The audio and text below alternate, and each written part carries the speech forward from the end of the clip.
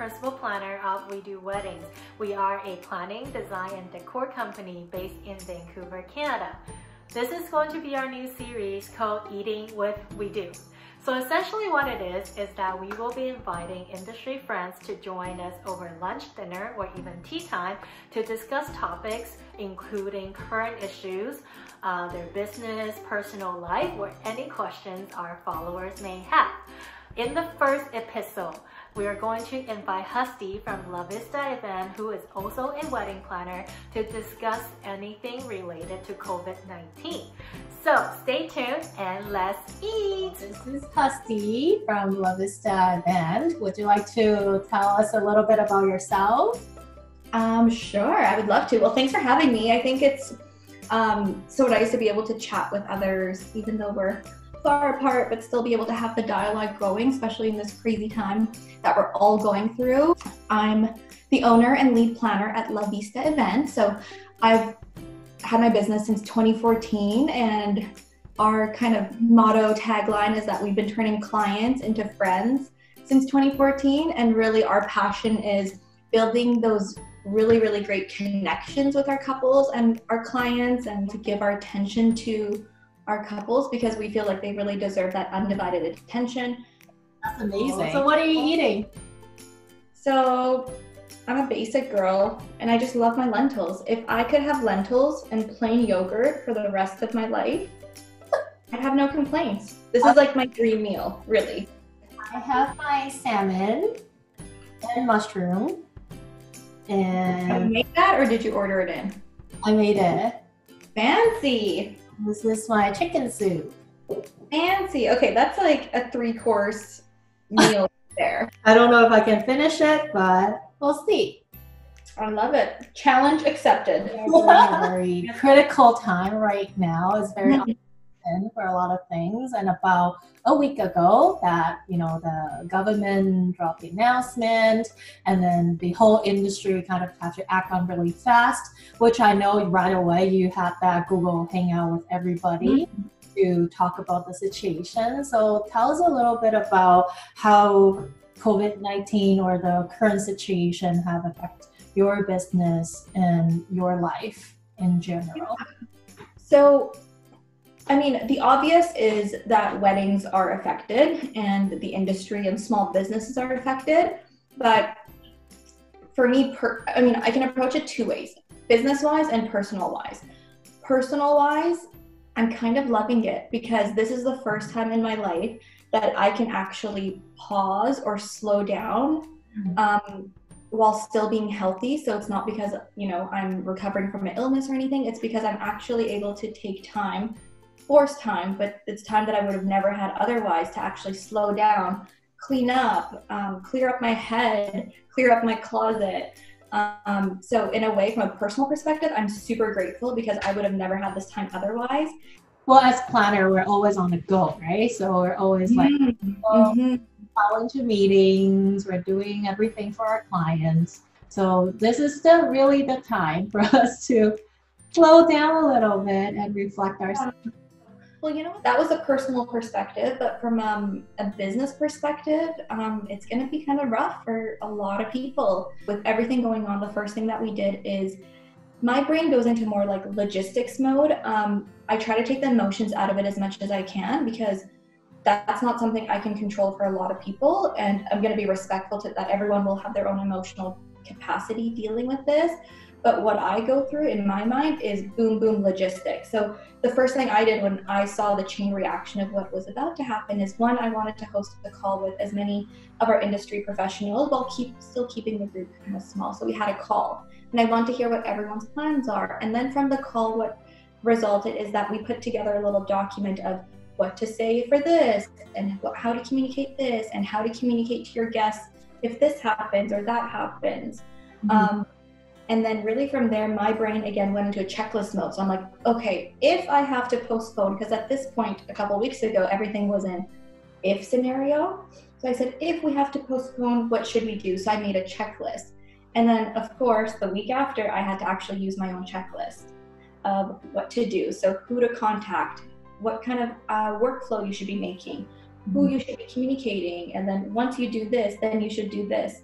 So that's where my mind has gone from a business perspective, first and foremost. Mm-hmm. Um, I don't know, maybe that's my brain as a planner, just checklist mode. What can I do to get this done and get this moving so that we're not canceling, but we're postponing? Well, I think because for planner, we're the first one to have to take the action and leading our couple forward. We um, kind of see this coming about two months ago um, mm. when China, you know, when the whole thing happened in China. We already took our action actions to talk to different ven- venues, different vendors, and just to make sure that you know, like there's that possibility if there's an outbreak in Vancouver, what are we going to do? Um, I feel like so far, like the whole community, as we were chatting, like it seems mm-hmm. like there's situation that we have to handle, but we're all handling it in our own ways to to basically help our couple moving forward. It's it's crazy, right? And I think the biggest thing that we can all agree on is for the first time as planners, we don't have an answer Yeah. and what we can do as planners is really remain calm but proactive. Um, and we're not here to really force decisions or force movements on anybody. But I think a lot of it is what can we do to now still keep the calm and keep you moving along? Because that's again why you hired us and that's why we're here. And we're here to take that off your shoulders and you know, you go spend time with your loved one, we'll take care of the logistics and your wedding will happen the date might be different, the season might be different, but in the end, as long as you're still marrying who you want, you wanted to marry, you still have the guests that you wanted to be there, you know, as much as realistically possible. The rest of it, it's just those are just things, really. No, totally agree. Well, how how many weddings do you have that you have to sort of postpone at this point? Yeah, so for us, um, not many because we've taken on less weddings this year. So we're lucky that it's been quite spread out for us. Um, we've had two already move into 2021. We've had one in March postponed to July. Um, so we're hopeful end of July will be okay. Again, we don't know. So even though we moved the March wedding into end of July, I've still really told the couple to brace yourself. I want you to be okay that when you choose a July date, it could shift again. So I want them to be mentally ready for that, um, which they seem to be. Um, and then I have a few upcoming in May and June that the May one will be postponing. So we're just dealing with that.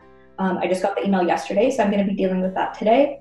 And a couple in June. So we're not touching July yet. We're not touching the rest of the year because we our approach is to take it phase by phase um, but with that said, we're still going to be proactive to have answers. So if we do need to shift, we can do it right away. And it, it's not hard. It's not hard to shift once you've done the proactive work ahead of time. It's just a quick, quick mass email, even if you want, and then boom, it's all confirmed with the vendors because you've dealt with the communication ahead of time, which is, I think, the most important right now. That was just awesome. So, like the, for the July and August, so we're getting this question a lot by our followers on Instagram. Mm-hmm for July and August couple, when do you think they should take the action? Or when should they leave? Well, a lot of it comes down to when are your payments due?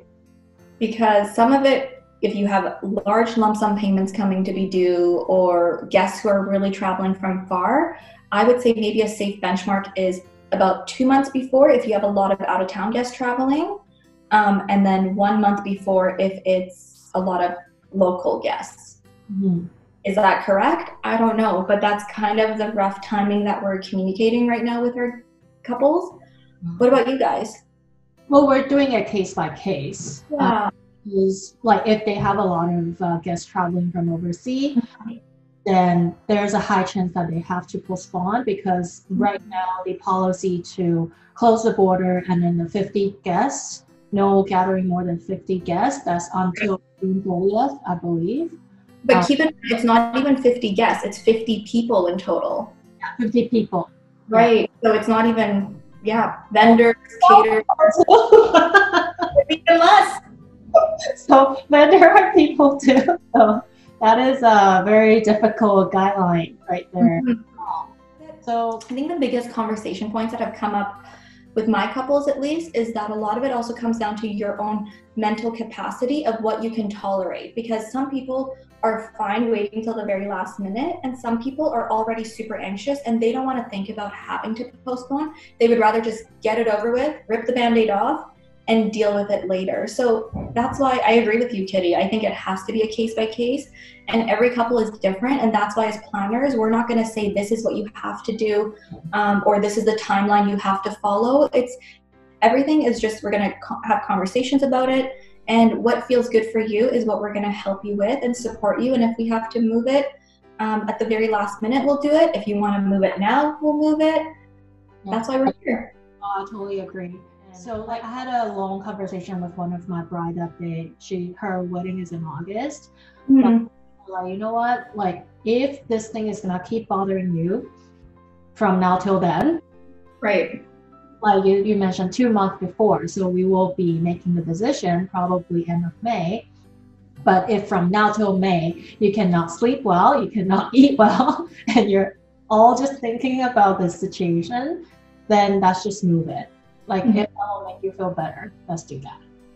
I love that. I think that's really good advice, and um, and, and I think let's take it case by case. I think that's the best gift we can give all of our couples right now is to approach it with kindness and put ourselves in their shoes and feel what they're going through. Because you know, I got married almost six years ago, and I had a June wedding, end of June wedding. So I can't imagine how I would be feeling Mhm. end of March right now, early April. Um, I don't know. Um, so I think if we can just come at it from a place of kindness and, you know, how can we help them? And I think really in this industry, we're in this industry, you know, not to make a lot of money, but we're in this industry because we're really, really passionate. Um, and everything we're doing is from the heart. Like you're, as our clients, you're getting emails from us in the middle of the night or early morning or at all hours, and we're responding to your text messages and we're driving to you however many hours to bring you, you know, inventory or design. So we're there for you, and we're going to still, I think, be there for you as long as needed, even if it goes into next year. Are you guys putting into any like restrictions as to how far they can postpone, or how, Uh, flex- how flexible can you be? right now it's one year. Um, but if like so far all the postponing is within one year. Mhm. For example, if it's August, they can postpone until August 2021. Mhm. and really depending on the situation. Um, Right. Kind of the policy for most of the vendor as well, one year postponing um, for venue as well. Gotcha.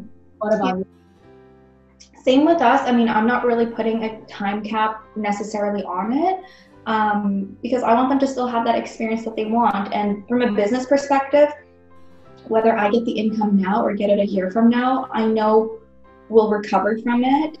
I think this is also a great reminder for any small business owner. Make sure you're putting away funds every month, making sure that you're setting yourself up for any rainy day or months or pandemic that could happen. I think a lot of what's coming out of this whole situation is I'm thinking like I'm thinking back to all the decisions I've made over the years and all the decisions I need to make now going into the future of how we can all save more, how we can all prepare more. Um, and a lot of it goes back to also documentation. Like I always recommend is putting everything on a Google Drive and backing it up because you never know your laptop could be flooded, your laptop could whatever, it could be stolen. I think it's so important for all of us, not just planners, but vendors and especially couples. Um, all your information should be shared onto the cloud. You should have multiple copies of it. Um, I've even emailed myself copies of my passport and IDs, and I have that saved into a drive. I have it saved into my email. I've emailed it to my husband just in case, like, I can never pa- access my passport for any reason. I just have things in like multiple sources, and I think we can all use this time now just to prepare for the what ifs. And like, anyways, don't go hacking my emails, people. But yeah, we just know what to do now. know where it is. Um, you know what's going to happen now in the future with terms of planning? I don't know. I wonder if we're going to see a shift in terms of priorities. I wonder if we're going to see a shift in terms of guest count. Um, i've heard this running joke of the covid cut. Like if you had to drop your wedding to 50 people who would you cut? Yeah. it just i don't know it makes you think think about it. Are you guys seeing any changes in terms of planning? I think at this moment, not really. Like I know a lot of uh, people are saying now the wedding might get smaller, um, mm. um, elopement. But I do agree there might be partially that um, will affect bigger weddings. Um, but overall, I don't think it's gonna change the form of us celebrating too much. To be honest, I think mm. everything settled down, I feel like everyone would wanted to see each other even more than ever.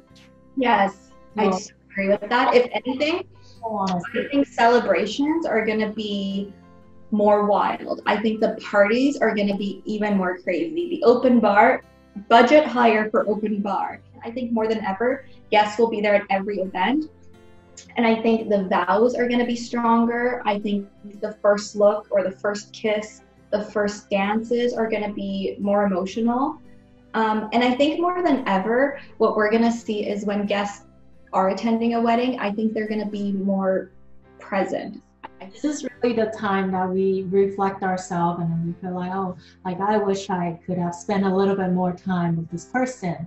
Like I think it's gonna be uh, very meaningful. Especially, I cannot wait to see the first wedding that we do after this whole storm. Like I think that couple's gonna have a lot of te- happy tears that day. Everyone is going to be a lot more emotional, especially when the first wedding does finally take place. Um, I think everything will just you'll feel it a lot more, which is so nice. I think maybe we needed this reality check. Maybe a lot of us were becoming a little bit robotic in our ways, and maybe we were becoming you know not numb but i think we're all just so we're always on our phones and we're always running like rushing from meeting to meeting to meeting um, and not enjoying it for what it is. So no, I totally agree. So, do you have any advice or suggestions for a couple that's having their wedding this year? Um, like you mentioned about priorities or um, checklist. Like, do you have any suggestion for them, like what they need to be thinking about? I think the biggest one right now is you brought it up really well, and I think it's to first off talk to your partner, talk to your families, and see what your mental stamina is. If you're having a hard time sleeping, like you mentioned, Kitty, like if, if that's what couples are going through, then that's not fun. Like the wedding planning experience should be fun. You should be looking forward to it, and you shouldn't be making decisions in fear. And if you're not enjoying the journey right now, then I think it's okay to pause. Um, I think it's okay to limit notifications on your phone. It's okay to limit the news. Um, but if you're still having a hard time, I would say one, if you're having a really hard time, you should talk to someone who's a professional, not a professional planner, but someone who's maybe a little bit more experienced, um, and you can talk it through. And two, if you're still having a really hard time, then it's okay to make those decisions to postpone. But I think it should be a collective decision with the immediate family. Um, so that would be my first action point. And then I think the second one is really to make sure that if you are going ahead with the wedding, is to communicate that with your guests even if you're communicating with your guests to say, hey guys, you know, we're we're still planning as normal, but we're here are some of the changes we've made towards our planning journey. Now we're going to be switching to a plated dinner, and now we're going to be trying this, and you know, and we realize that there might be some implications, and we realize the decision isn't concrete, but here's what we're hopeful for. So I think it's still okay to communicate that with the guests and say, we don't know everything, but we're doing our best to move forward, but plans may change, so please be ready for that if needed. So I mm-hmm. think communication is really key.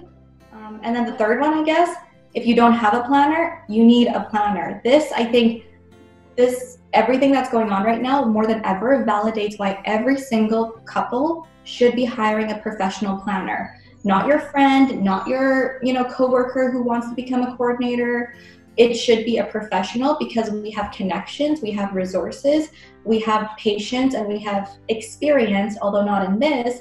But with that said, every couple that we have to reschedule, we're gaining more experience with this. Mm-hmm. Um, and we have connections, like even right here, we're having conversations. So I think it's really important that if you don't have a planner, whether you're going to hire one just for consulting hourly support mm-hmm. or any level, you need to hire a professional. And this could not be a better example of why you need one because we're going to help you even though this isn't in our contract our contract doesn't cover rescheduling or postponing or planning a wedding two or three times but the fact is we're we're very caring people and we understand what you're going through and we're not going to leave you dry and hanging. So, no, yeah, I think you got that great point right there. Like, I think more ever, like you mentioned, planners in this situation is the one that really can um, mm-hmm.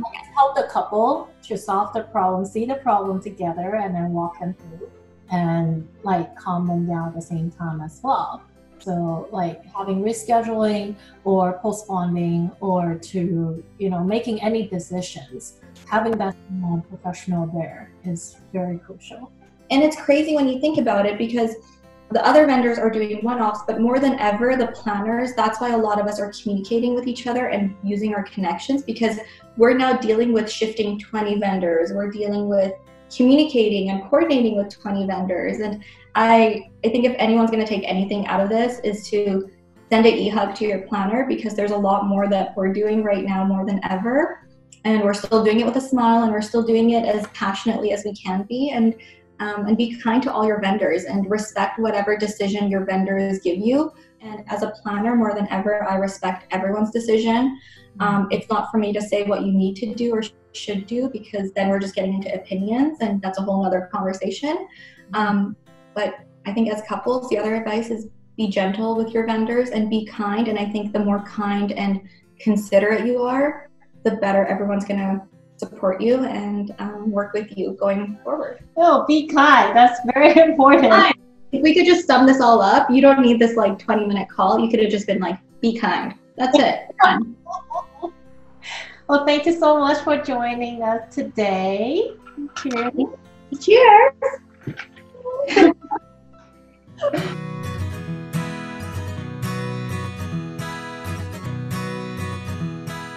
Four. Bubsy wanted to say hello. Hello. Can say hi? Hi, Kitty. Hi, everyone. Hi. Okay, you're gonna get through this. Everything's gonna be okay. It's gonna be fine.